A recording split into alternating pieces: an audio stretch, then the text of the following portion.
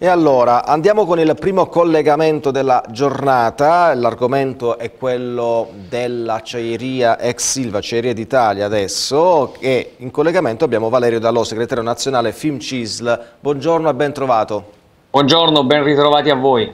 Ecco, motivo dell'intervista è l'incontro del 9 novembre che le organizzazioni sindacali di FIM, FIOM e WILM hanno spuntato con Palazzo Chigi per la ripresa delle trattative sulla vertenza ex Silva. Al centro di tutto la prospettiva dei futuri assetti societari, eh, la transizione ecologica, il rilancio più in generale degli stabilimenti. È motivo di soddisfazione, speranza e fiducia il fatto che Palazzo Chigi vi accolga?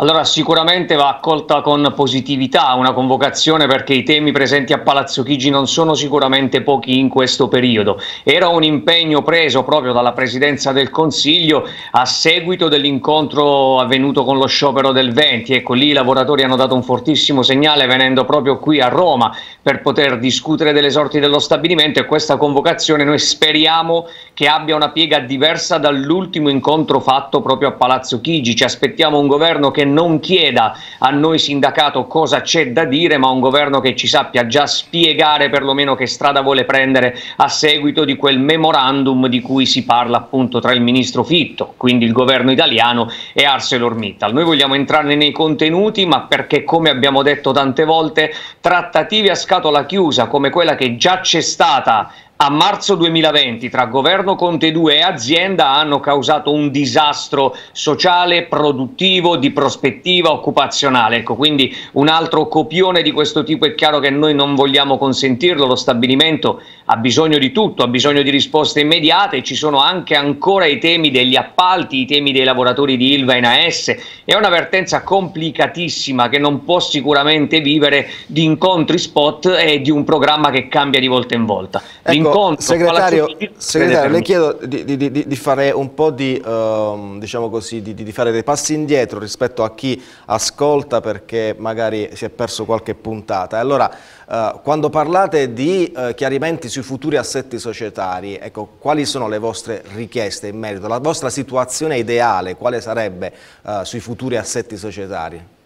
Allora, ricordiamo che per un anno il ministro Urso ha continuato a insistere sull'idea che il governo dovesse passare al 60% e ArcelorMittal in minoranza. Questo che cosa genererebbe? Cambierebbe la condizione per cui a oggi il paradosso di questa società è che il socio di, di minoranza pubblico mette i soldi e che il socio di maggioranza privato li gestisca senza metterci un centesimo. Ecco, il problema non è se lo Stato mette o non mette risorse, il problema è capire e stabilire il socio privato di maggioranza come viene vincolato e responsabilizzato agli stessi investimenti. Quindi un assetto societario più chiaro dove sia sancito chi fa cosa e chi ha la governance è ormai indispensabile, altrimenti noi continueremo a regalare risorse sì importanti per la tenuta dello stabilimento stabilimento, non lo mettiamo in dubbio, ma che non possono deresponsabilizzare totalmente ArcelorMittal. Per cui l'assetto societario è proprio questo il nodo che deve chiarire prima di ogni altro. Quando parlate di transizione ecologica, che cosa intendete? L'auspicata decarbonizzazione?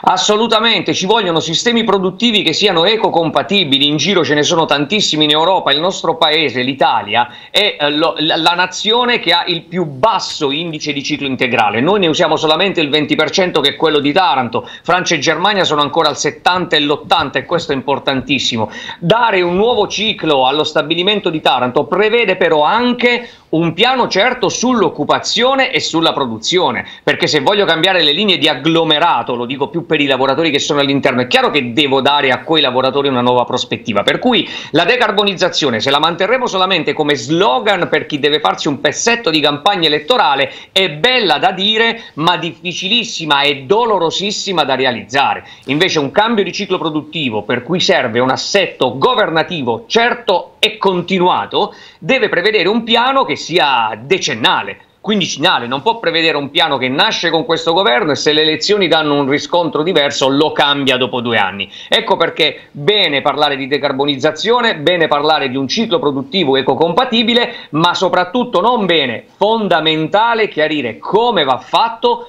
e come si gestiscono i lavoratori nella transizione. Di fronte a un piano come questo troveranno il sindacato dalla loro parte per poterne discutere. Ecco, voi parlate anche di rilancio uh, di alcuni impianti, perché ci sono alcuni impianti ridotti male, in che senso?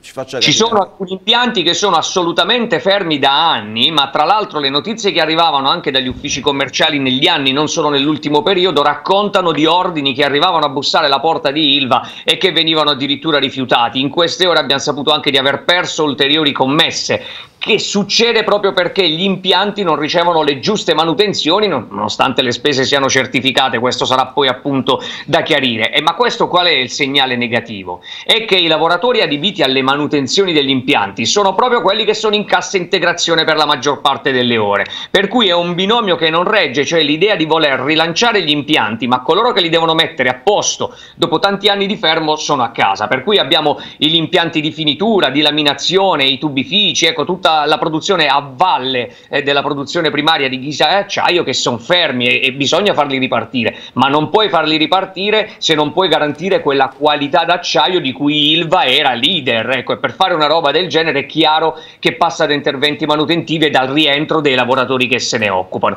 Lo stesso per le ditte in appalto. Noi possiamo anche chiedere eh, di fare lavori, di fare manutenzione e appunto di dare ordini. La verità è che poi bisognerebbe anche pagarle adeguatamente nel senso di non lasciare tutto lo scaduto che ci raccontano invece i colleghi del mondo degli appalti che è ormai anche a voi noto. Segretario, incamminandoci verso la fine di questa intervista, visto che ha nominato gli ammortizzatori sociali, vogliamo ricordare alcuni numeri fondamentali. Che forza lavoro c'è eh, ora in Ilva, in ex Ilva e quante persone sono eh, al lavoro o a casa con gli ammortizzatori sociali? Parliamo ovviamente di Taranto, noi abbiamo 8.200 persone circa che sono i dipendenti, di cui 3.000 sono a casa, a cui vanno aggiunti i costanti 1.600 che arrivano appunto dall'amministrazione dall straordinaria. Non dimentichiamoci anche nell'ultima legge di stabilità, insomma nella, nella, legge di bilancio, chiedo scusa, noi sappiamo bene che oramai la cassa integrazione in ILVA, nostra grande preoccupazione, arriva oramai per decreto, non c'è più neanche la discussione col sindacato, ecco perché ci vuole una governance che stabilisca quanta cassa cassa integrazione serve perché sarebbe populista e inutile dire no, cassa integrazione zero certo. se ho 3 milioni e mezzo di tonnellate di produzione, ecco, saremo sicuramente, non saremo sicuramente noi a dirlo, però dire come la gestiamo la cassa integrazione, come diminuiamo gli effetti negativi sul salario dei lavoratori che vengono posti in cassa integrazione e quali sono le figure professionali a cui io non la faccio fare perché voglio rilanciare gli impianti o magari rimetterli in marcia, è tema tutto sindacale che va gestito. Ecco, per cui gli ammortizzatori sociali che devono accompagnare la transizione, accompagnare un progetto di rilancio,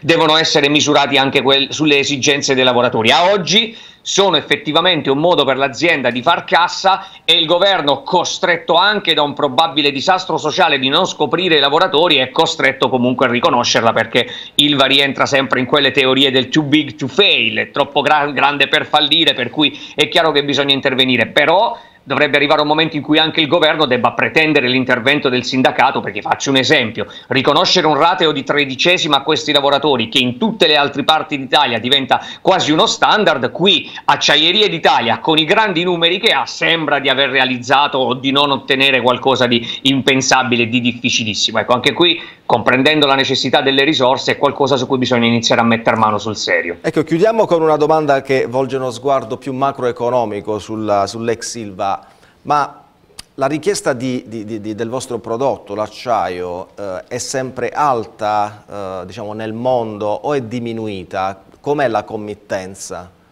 Dopo un effetto assolutamente positivo dove l'acciaio è arrivato a costare più dell'oro, è chiaro che in questo periodo, dovuto anche a quello che accade in Germania, l'effetto della richiesta di acciaio è calato, ma questo non è un problema di che tipo di produzione faccio, è un problema di mercato e la siderurgia, soprattutto chi fa siderurgia, gli imprenditori della siderurgia in Italia, sono ben consapevoli che ci sono momenti di calo, ma momenti di grande picco. Ricordiamo i grandissimi numeri realizzati dalla famiglia Riva, gli utili eccezionali fatti in un momento in cui l'acciaio tirava, ecco quello è un mercato che è in questa condizione sempre. Di vero c'è che il prodotto che veniva realizzato in Ilva, dico veniva perché a oggi non siamo più magari in quelle condizioni proprio per quello che raccontavamo prima, era richiesto da clienti che veramente cercavano acciaio di qualità, grandi catene di tubifici, avevamo Fiat, avevamo Fincantieri, ecco tutte aziende che non hanno certo bisogno di acciaio scadente ma che cercano in Ilva la vera qualità e quello stabilimento rilanciato è assolutamente realmente in grado di soddisfare il mercato e appunto riportare al lavoro in maniera ambientalmente sostenibile tutti i lavoratori in cassa.